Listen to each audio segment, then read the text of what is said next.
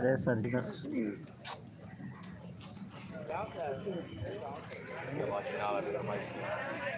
बिना शांत रहिए शांत रहिए वो भी दे दे रहे हैं। दे दे रहे हैं। आपको तो बताइए में चला है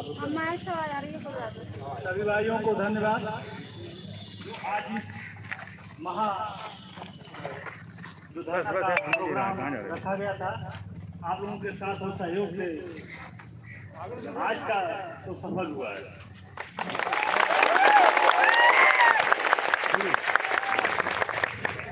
लेकिन जो हमारा ये लड़ाई है, जो हमारा ये संघर्ष है,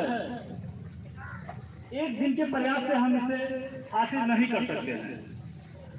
जब तो हमें वर्दी लेना है, लगभग 2018 से हम प्रयास कर रहे हैं माननीय उच्च न्यायालय इलाहाबाद से हम लोग सर्वोच्च न्यायालय तक जाएँगे। जो दूसरा विकल्प हमारा है, शासन स्तर से प्रयास करना। अभी तक हम कई बार प्रयास कर चुके हैं, धरना दे भी चुके हैं, लेकिन इसके पहले जो भी हम धरना देते थे, सिर्फ़ हमें आश्वासन मिलता था। मतलब शासन स्तर उस पर अमल नहीं करता था। लेकिन आज पुलिस विभाग के हमारे काफ़ी उच्च अधिकारियों के द्वारा हमें समर्थन मिला। उससे हमारे तमाम याची भाई बहन जो प्रदेश भर के आए हुए हैं, संघर्ष कर रहे हैं, जो हमारे देश था आज धरना का, उसमें कहीं ना कहीं हमें ज़रूर सफलता मिला है और हमारा जो मुलाकात आज हेडक्वार्टर में एडीजी साहब से हुआ है, उन्होंने साफ़ शब्दों में कह दिया कि हम आपका विरोध नहीं कर रहे हैं। लेकिन हमारा कहीं ना कहीं हाथ बधा हुआ है, हम आपका पक्ष भी नहीं रख सकते हैं। हम आपका लेकिन आज कल में डीजी साहब रिटायर हो रहे हैं।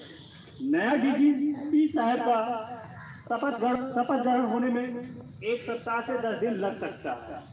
तो एडीजी साहब, हम लोगों से लगभग एक सप्ताह से लेकर दस दिन तक का समय मांगे। हम लोग लगभग तीन से चार साल प्रतीक्षा किए हैं इस भर्ती के लिए। हमें दस दिन या एक सप्ताह और प्रतीक्षा करने में कुछ हर्ज नहीं होना चाहिए। कि कोई समस्या है। लेकिन समस्या है।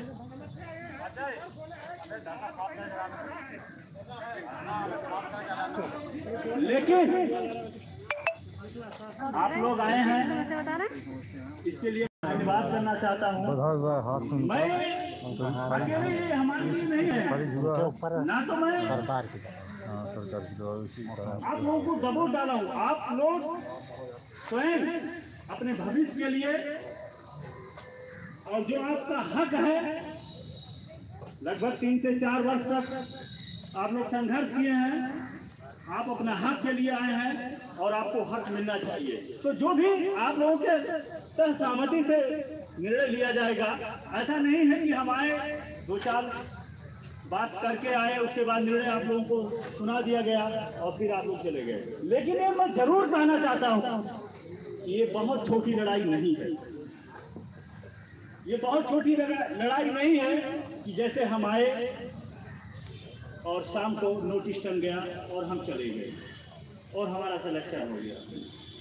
आप जो तुलना मान तुलना करते हैं, उनहत्तर हज़ार शिक्षकों से, उनका लगातार नब्बे से सौ दिन तक संघर्ष चला था। वो हर एक माध्यम से सरकार को सूचित करते थे, विभाग को सूचित करते थे और मंत्रियों से मिलते थे। अपनी बात शासन स्तर तक कई माध्यम से ट्विटर से फेसबुक से और मिलकर भी अवगत कराते थे। तो ये जो जटिल समस्या है, एक दिन के धरना से समाप्त तो नहीं हो जाएगा। हमें आपको लगातार बना रहना होगा। तब जाके हमें सफल मिलेगा। हम मानते हैं कि हम माननीय उच्च न्यायालय इस्लामाबाद में लगातार 2018 18 दिसंबर से संघर्ष कर रहे हैं। और सिंगल बेंच से जो हमें आशा था, जो हमारा विश्वास था, उससे ज़रूर हमें निराशा हुआ है। लेकिन इसका मतलब ये नहीं होता है कि हमारा हौसला खत्म हो गया है। हम लड़ाई अंत तक लड़ेंगे, क्योंकि ये हमारे हक की लड़ाई है और ये सत्य की लड़ाई है। और ये इतिहास गवाह है, जो हक का लड़ाई, सच्चाई के साथ लड़ता है उसे हासिल भी है मित्रों, हमें जो तो खुद का मेरा पर्सनल राय है और इसमें आप लोगों से राय लिया जाएगा। ऐसा नहीं कि मेरे व्यक्तिगत निर्णय से सब कुछ निर्भर है। एक सप्ताह से दस दिन शासन हमसे समय मांग रहा है। तो हम ईमानदारी के साथ दे देना चाहिए। ऐसा नहीं है कि सारे विकल्प हमारे समाप्त हो गए हैं। ये तो दस दिन के बाद हमारा बात आगे तक नहीं पहुँचता है। तो हम धैर्यता के साथ फिर यहाँ आएँगे। इस शासन सत्ता को अपनी बात रखेंगे। जब तो हमारा शासन सत्ता आगे बढ़ता है ठीक है? लेकिन आप इस समय उग्र होइए क्योंकि शासन सत्ता आपको समय दे रहा है। और जब तो आप उनके बातों को नहीं मानेंगे तो हमारी बात को कैसे मानेंगे? तो इस बात पर भी आप लोगों को ध्यान देना होगा। मैं मानता हूँ प्रदेश भर के बहुत दूर दराज से लोग आए हुए हैं। निचले तबकों से आप लोग बिलोंग करते हैं आए हुए हैं। लेकिन कहीं ना कहीं का तो आपको वर्दी का ललक है। वर्दी हासिल करना चाहते हैं तो सब्र के साथ अपनी बातें सरकार तक, शासन सत्ता तक रखना होगा। बाकी हमारा जो प्रक्रिया है, माननीय उच्च न्यायालय इलाहाबाद में चल रहा है। ये तो प्रक्रिया की आवश्यकता पड़ा तो सर्वोच्च न्यायालय तक जाएगा, इसमें दो राय नहीं है। जो है, लेकिन न्यायालय में कितना समय लगता है, क्या होता है, क्या नहीं होता है, आप लोगों से बेहतर कोई नहीं जानता होगा। हमारे अथक प्रयास के बावजूद लगभग तीन वर्षों तक सिंगल बेंच में हम लोग लटके रहे और सरकार भी हिला हवाली करता रहा। डबल बेंच में लगभग तीन वर्ष हो चुका है। वहाँ भी यही प्रक्रिया है। किसी रीत में काउंटर आया है, किसी में नहीं आया है तो माननीय न्यायालय में बहुत ज़्यादा समय लगेगा। हमें दोनों स्तर से काम करना है। न्यायालय पे भी विश्वास है और शासन स्तर पे आने वाले समय में जितना हम लोग दबाव डाल सकेंगे, अपनी बात सरकार तक पहुँचा पाएँगे तो सरकार मुझे आशा है, उन्हें विचार करेगा। और आने, जितने भी सीटें खाली है, पैंतीस सौ अट्ठाईस सीटें 2015 में खाली है, ये डिक्लेयर हुआ है। 2018 ए डी में अभी ये डिक्लेयर नहीं है। हम आप G T C R T C से दिए गए डाटों के अनुसार कर रहे हैं। लेकिन जो मेरा मानना है, आठ से नौ, दस परसेंट तक सीटें हमेशा मेडिकल एबसेंट अनफिट और फेक मार्केट में खाली होता ही है। तो उस हिसाब से तीन से चार हज़ार सीटें 2018 ए 2018 बी में खाली होगा, इसमें दो राय नहीं है। ठीक है? जिस प्रकार पैंतीस सौ अट्ठाईस सीट 2015 में सरकार द्वारा पर्सनल एफिडेविट माननीय उच्च न्यायालय इलाहाबाद में दाखिल किया गया। इसमें अब दो राय नहीं है कि 2015 में की सीटें के बारे में हम सस्पेंस रखें। क्लियर? और लेकिन 2018 ए, बी में भी कंफर्म है। अब हमारा लड़ाई, हमारा मुद्दा एक है। जो भी विज्ञापन में जारी हुई सीटें, चाहे वो चौंतीस हज़ार सात सौ सोलह की बात हो, चाहे इकतालीस हज़ार समथिंग चाहे उनचास हज़ार समथिंग जितने भी सीटें खाली हैं, इन्हीं याचीगढ़ इन्हीं अभ्यर्थियों द्वारा भरा जाना चाहिए। सरकार जो भी नियमावली बनाया है, जिस प्रकार से भर्ती किया है, उन्होंने गलती किया या नहीं किया, हम इसमें टिप्पा टप्पणी करना नहीं चाहते हैं। लेकिन हम ज़रूर अपना पक्ष रखना चाहते हैं।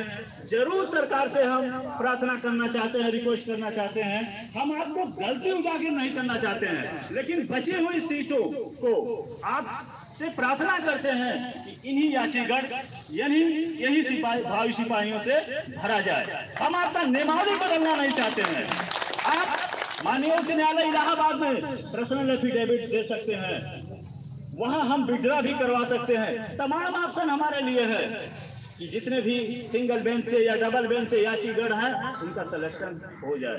तो सारे विकल्प खुले हुए हैं। लेकिन इन विकल्प को हासिल करने के लिए हमें लगातार आना होगा, कहीं भी जाना होगा।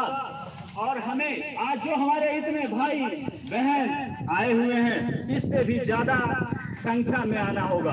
हाँ संख्या आए, लेकिन हमें सब्र के साथ बात अपना रखना होगा। हमें उग्र नहीं होगा। जो भी हमें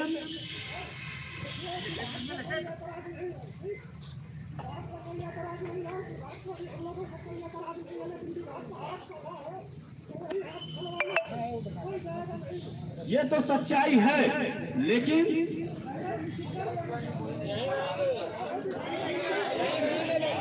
एक मिनट एक मिनट, आप सुनिए। कोई चीज़ हासिल तभी होता है जब हम चैनल वाइज कार्य करते हैं।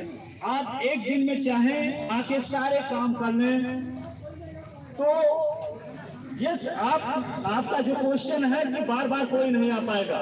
लेकिन लेकिन आपको तो कुछ बड़ा चीज़ हासिल करना है तो लगातार काम करना होगा। लेकिन आप लोगों की जो सहमति है कि हम रहेंगे डटे रहेंगे तो हम आप लोगों के सहमति पे इच्छुक हैं।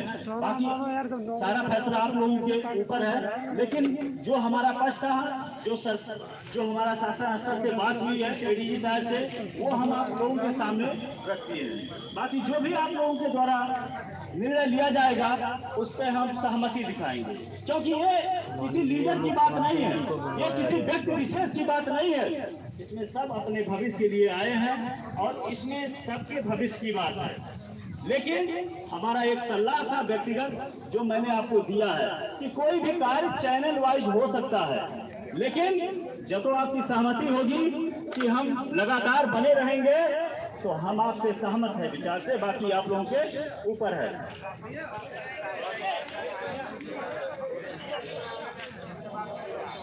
उत्तर प्रदेश पुलिस भर्ती दो हज़ार पंद्रह। पुलिस भर्ती दो हज़ार अठारह एक भी बची हुई सीटों को पूरा करे सरकार। बाकी और किसी को मेरे बातों से आइए आइए आइए आइए।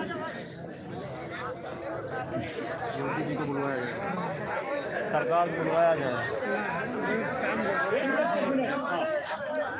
सबूत समझ रहे ना जी जी जी। हाँ। जी। नहीं वो सही है।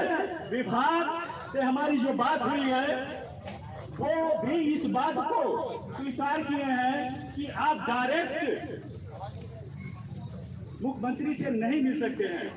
क्योंकि मुख्यमंत्री से मिलने के लिए कहीं ना कहीं डीजीपी साहब से मिलना ही होगा, क्योंकि मुख्यमंत्री से आप मिलेंगे, उनको कोई जानकारी नहीं होता है कि कितनी भर्ती है, क्या है, क्या नहीं है। विज्ञापन कितना जारी हुआ है। जो भी हम लोगों का मामला चल रहा है, फ़िलहाल आज के पहले शायद जो हमें आशा है, उनको कुछ भी जानकारी नहीं हुआ रहा होगा।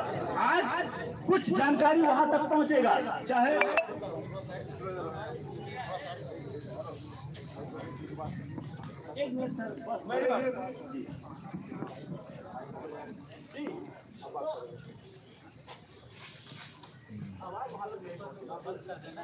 अजय भैया इधर चलिए इधर हम लोग उधर बात कर लेंगे। मुख्यमंत्री